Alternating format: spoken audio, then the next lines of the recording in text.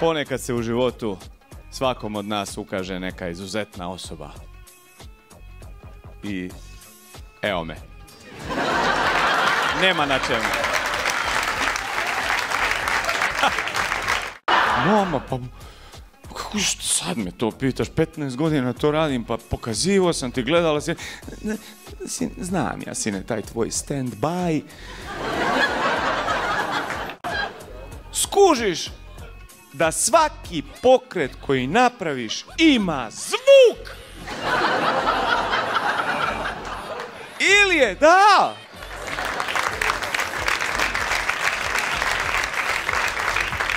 ili je krc, ili je klik, ili je a!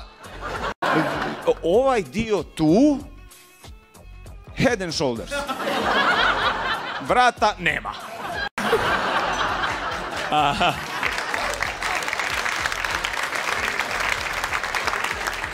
Ovaj dio ćemo možda izrezati. Ajde sad, ne.